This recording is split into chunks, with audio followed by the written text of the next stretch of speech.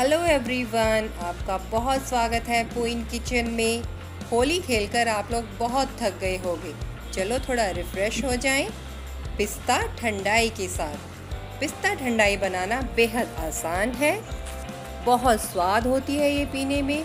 बिल्कुल चिल्ड मिल के हम बनाएँगे पिस्ता ठंडाई।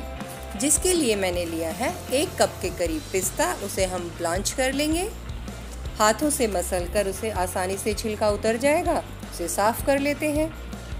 आधा कप के करीब खसखस के दाने थोड़ा सा ड्राई रोस्ट करेंगे और फिर उन्हें अपने ग्राइंडर में डाल के ग्राइंड कर लेंगे। स्वाद के अनुसार चीनी और थोड़ी सी काली मिर्च के साथ। बस फिर क्या करना है, उसे ठंडे दूध में डालेंगे और ब्लेंड कर लेंगे ब्लेंडर से। बन गई हमारी ठंडाई। ये पीने में बहुत ही स्वादिष्ट है, बनाने में बेहद आसान है तो आप भी बनाइए और पीजिए पिस्ता ठंडाई। अगर मेरी वीडियो आपको अच्छी लगी तो प्लीज़ मेरी वीडियो को शेयर कीजिए, मेरे चैनल को सब्सक्राइब कीजिए।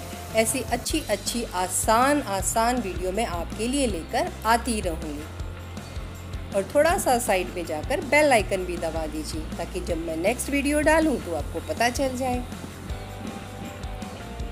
तो अगली वीडियो के आने तक बाय बाय